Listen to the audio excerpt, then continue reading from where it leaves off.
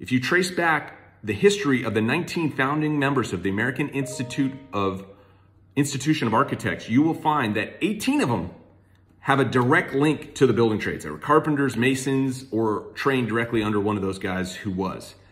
And so, hate to break it to you, but that is where we came from. And the reason they changed the rules of the games is because of a social status play. They wanted to raise their social status. And I tell you, they are they are turning in their graves because they never intended to relinquish the responsibility for a building project. That was really by default because of the educational system in which they set up. And these fellows also did some other things which I don't think they'd be very proud of if they look back at today. So we're going to talk more about it, but there's some more education for you.